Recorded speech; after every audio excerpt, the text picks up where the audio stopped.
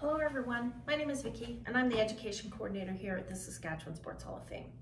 I'm doing a series of uh, experiments to show you how STEM, science, technology, engineering, and math really relate to sport. Today we're going to talk about energy.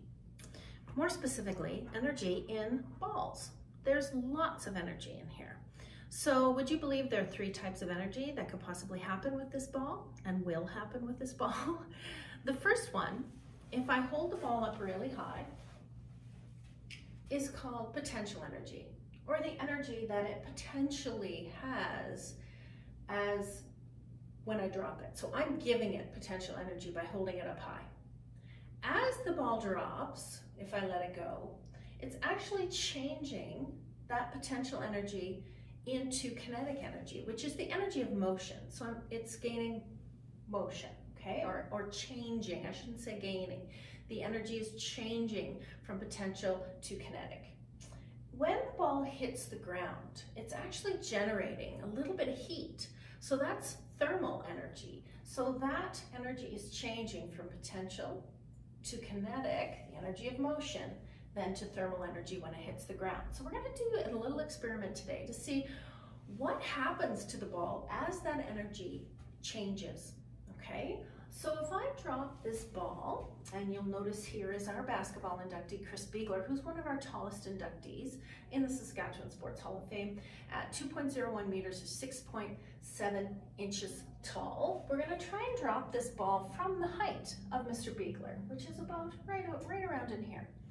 As I drop the ball, it's gonna bounce back up, okay? But what I want you to do right now is take make a prediction. How far back is that ball gonna bounce? Is it gonna bounce back up to the same height as what we dropped it? Is it gonna drop to about maybe my head level, my shoulders, my waist, my knees? How far back up is that ball gonna bounce? I want you all to make that prediction right now. Maybe write it down somewhere so that you have proof of what your prediction was. So quickly write that down. And again, as I drop this, how far back up is it gonna bounce? To the same height, to my head, my shoulders, my waist, my knees, how far back up? Okay, hopefully you've made your prediction. So again, that's gonna change the energy from potential to kinetic to thermal once it hits the ground. How much? Okay, are you ready? I'm gonna drop it back, I'm gonna drop it down. Three, two, one.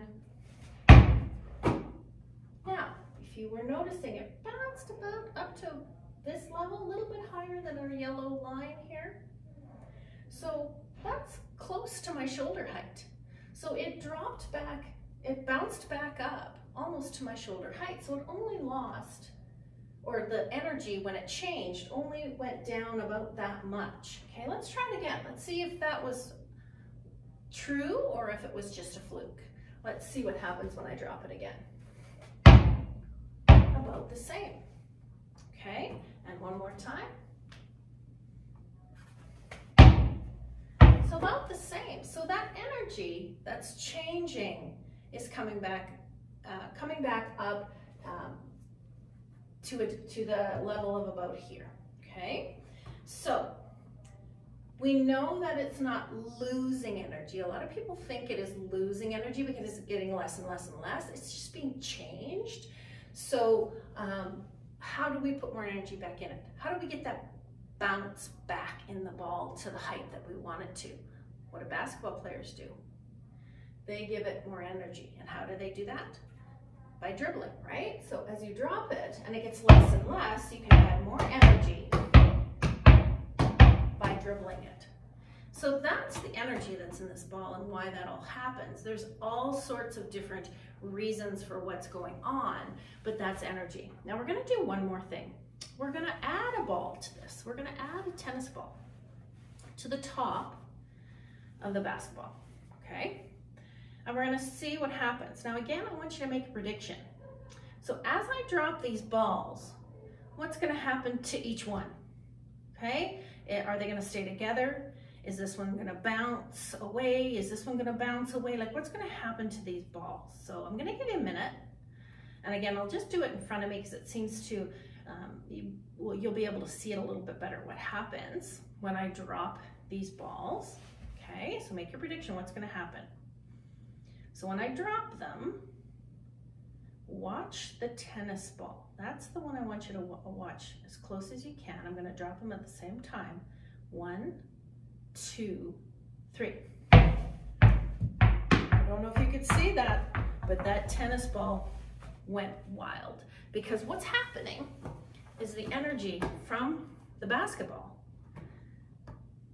went to the tennis ball. So the tennis ball had a lot of energy just to bounce all over the place. And we know how bouncy a tennis ball is, right?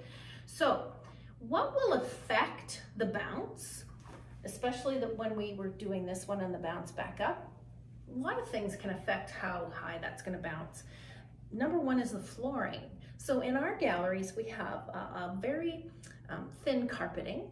So it's not like a tile and it's not like a thick carpet, it's kind of in between. So it's fairly solid.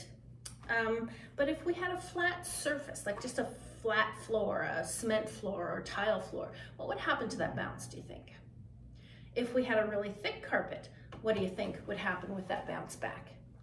What do you think might happen if we were outside and it was cold or it was really hot? How do you think energy might be affected uh, as it's transferred in this basketball? So those are things I want you to think about and maybe investigate with your class, okay? Thank you so much for watching our, this experiment today. Check back for more experiments coming soon.